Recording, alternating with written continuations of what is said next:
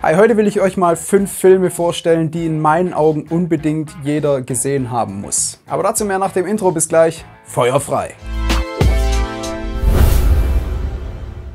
Ja, die Winterzeit steht mal wieder vor der Tür. Und was kann man da am besten machen?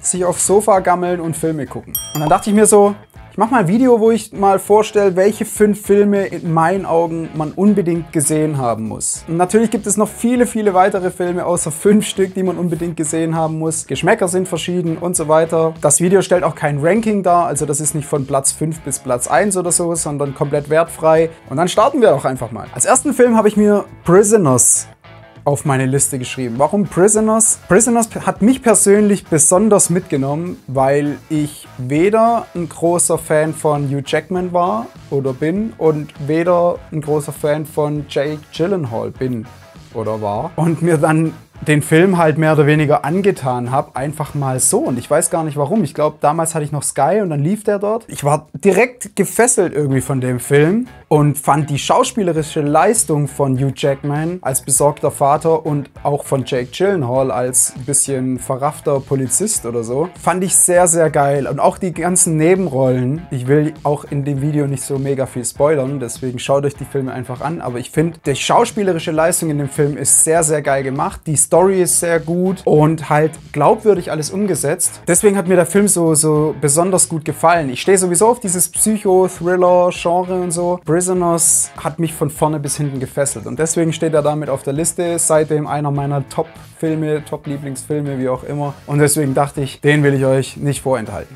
Der zweite Film ist von einem meiner Lieblingsregisseure und zwar Inglourious Bastards von Quentin Tarantino. Ja, jetzt werden wieder viele sagen, oh, ein Fanboy oder so, keine Ahnung. Nein, nein, nein, nein, nein!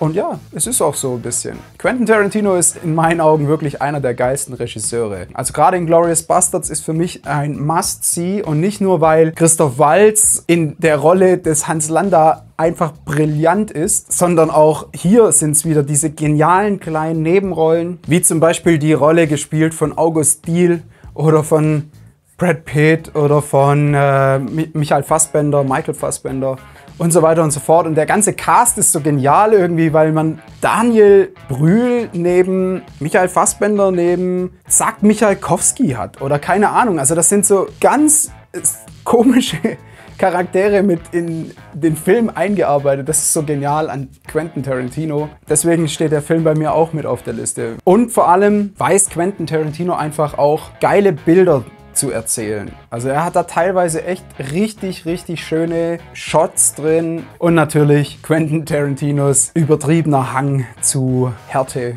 Das muss einfach manchmal sein. Und deswegen ist es ein Must-See, der Film. Each and every man under my command owes me 100 Nazi scalps. And I want my scalps.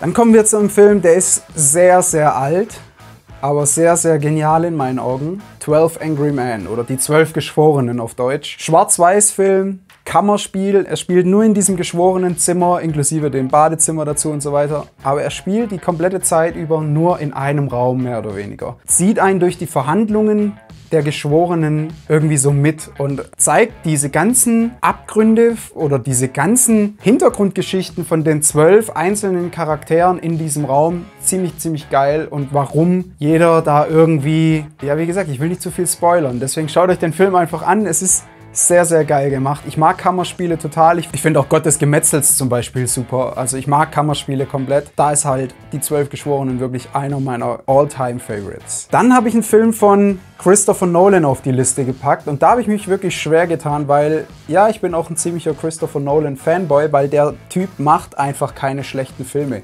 Jeder Film von Christopher Nolan ist überragend.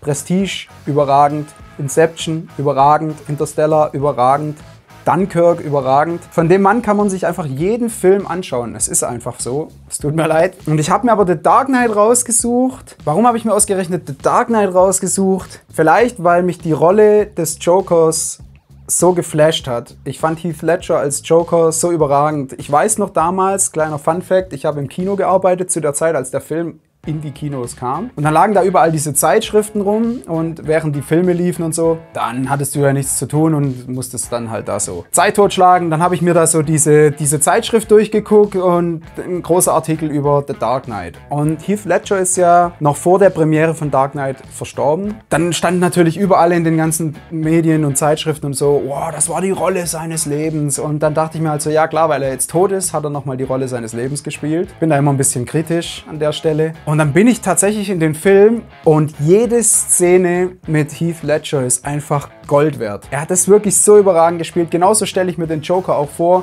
So einen psychopathischen Typ. Richtig, richtig geil.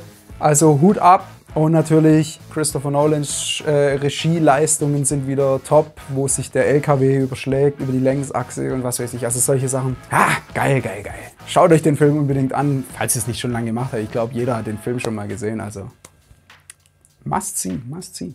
Und dann kommen wir schon zum fünften Film auf der Liste, zum letzten Film auf der Liste, aber last but not least, wie man so schön sagt, Die Verurteilten. Shawshank Redemption, einer der All-Time Classics. Ein sehr, sehr geiler Film, überragender Film, schon ein geiles Buch von Stephen King. Und natürlich Frank Darabont als Regisseur hat unter anderem ja auch Green Mile oder so gemacht, der auch sehr, sehr geil ist. Aber Shawshank Redemption ist wirklich, den, den kann ich mir immer ansehen. Egal wann und der geht immer. Das ist auch so eine gut erzählte Geschichte mit Intrigen und was weiß ich was und wie es nachher aufgelöst wird und alles. Das ist schon sehr, sehr geil gemacht. Also wirklich einer der besten Filme, nicht nur laut meiner persönlichen Meinung, sondern laut IMDb ist der Film ja auch meines Wissens immer noch auf Platz 1. Von dem her auf jeden Fall ganz klar ein Must-See. Das war es auch schon mit meinen Top 5 Filmen in meinen Augen. Und jetzt interessiert mich natürlich, was sind deine 5 Filme oder dein Lieblingsfilm oder egal. Schreib mir einfach mal in die Kommentare, was muss man unbedingt noch gesehen haben.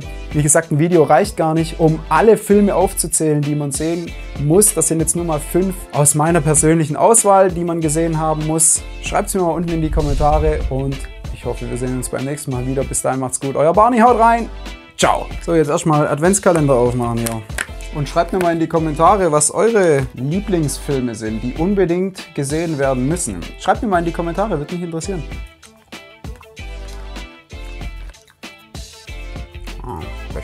Nur echt von Windel. Jetzt weiß ich auch, woher die Schokolade kommt.